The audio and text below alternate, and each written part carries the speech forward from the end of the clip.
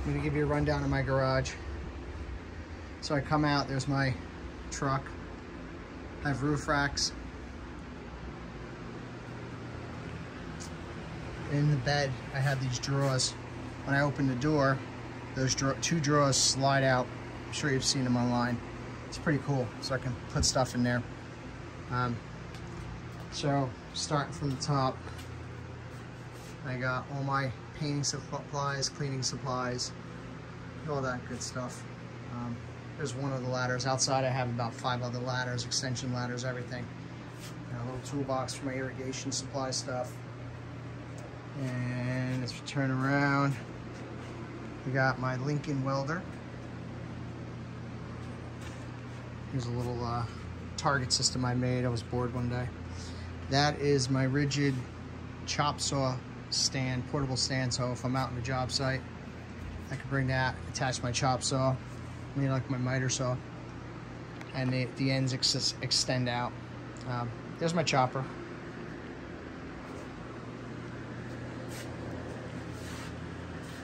And there's my big Harley, my touring bike, the one I took cross country. On the shelf is just paint, um, painting supplies, my window washing supplies, miscellaneous camping gear, a shop vac. Underneath there I have a um, air compressor. And I got miscellaneous specialty type tools that I don't really use, like a big nail gun, framing nailer. Um, I don't even know what's in these other boxes. So, uh, there's stuff when I'm working on my truck or my bike. Come around here. It's all my motorcycle oils and supplies that I can do my tune-ups. There's one of my motorcycle jacks behind there. And then that white cabinet is um, just for my helmets and gloves and all supply stuff. Is this? No. Uh, there's my main compressor. I have it hosed through the whole, there's a hose going up to the other side, so I got air throughout the whole thing so that I can pretty much power anything. There's just extra chairs and tables. Um, just bullshit that my kids won't throw out. Some extra supplies on the bottom. Little step stool ladders, my ramps for my truck, extra refrigerator. Uh, there's my pressure washer. And then underneath that is my generator. And here's all my big pieces where I keep all the excess wood, all the large pieces, and cut off stuff. Um, that's about it. Oh, there I got a couple yard tools, some extra gas, oil cans, all that stupid shit. Uh, there's my creeper for when I'm working on my truck.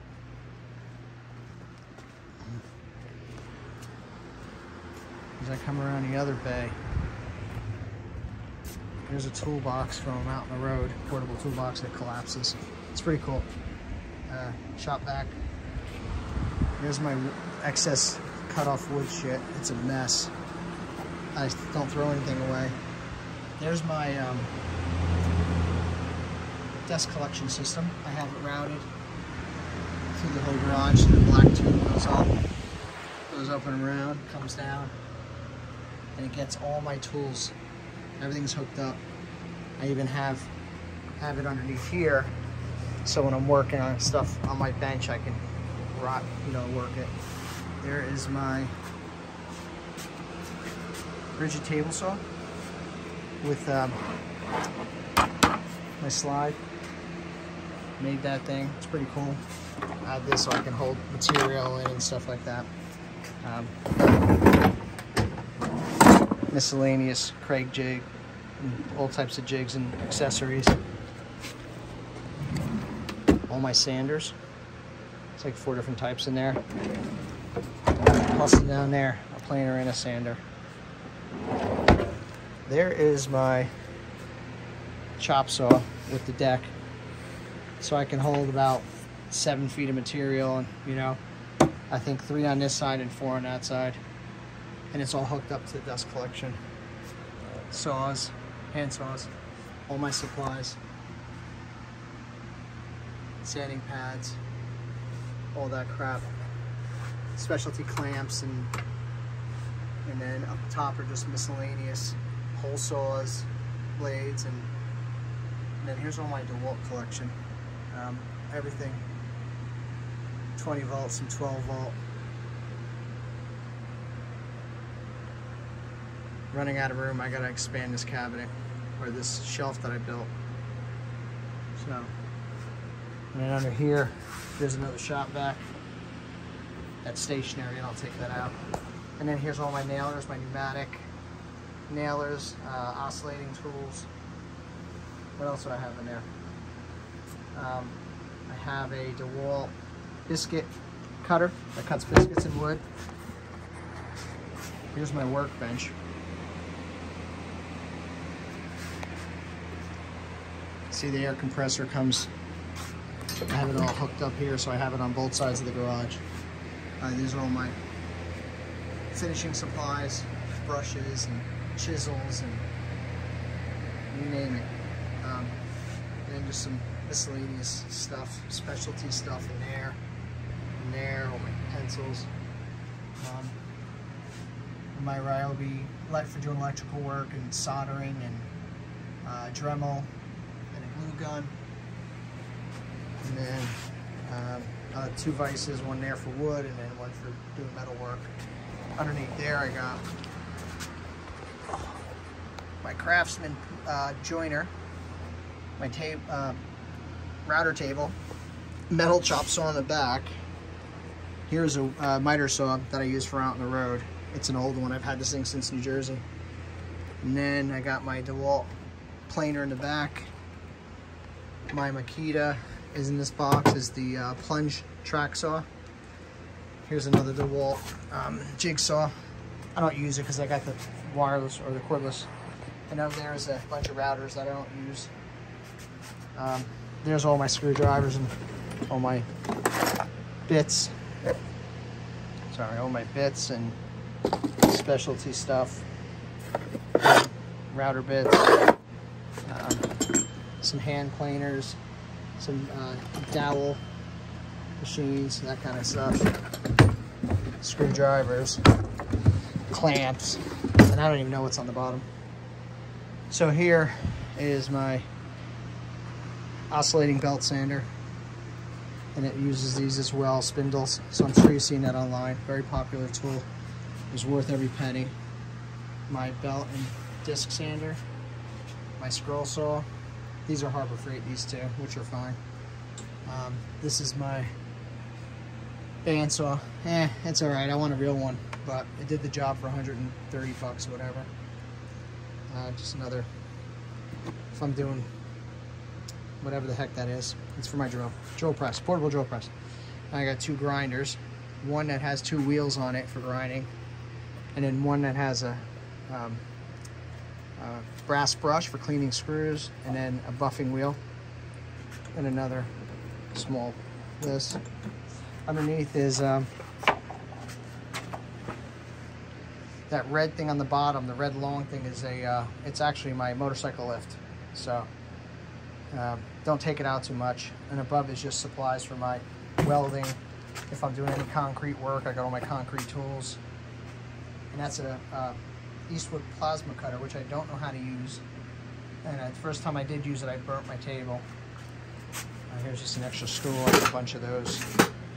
And there's just extra motorcycle parts I'm afraid to throw out. There's all my charging shit and then miscellaneous nuts and bolts, screws and nails and washers and gaskets and pieces and nails for my nail gun, uh, heat shrink, all my electrical tools, uh, uh, truck line stuff, and there's more electrical tools. I got my testers and and fish lines and all that other crap. Staple guns, I think I got like six of them. One, two, three, four, five. Yeah, six of them. God damn it. Um, and then just like torches and extra wiring, tape, and just a bunch of buffers and I don't even know what the hell I have anymore. Extra grinding wheels. Mean, all these little boxes. Unfortunately, they're all different sizes because I'm an idiot. And then uh, extra wheels. And there's my toolbox. Now this is for balancing a motorcycle wheel. Someone gave it to me. Um, here's my portaband for cutting metal. I could take that off the stand. The stand I welded up made. There's the track for my track saw, the Makita track saw. And then uh, here's my drill press. And I bought this for it. I forget how much it was online. It was pretty cheap. And then I bought this clamp so I can clamp the same when I'm doing some intricate stuff that I don't want to move.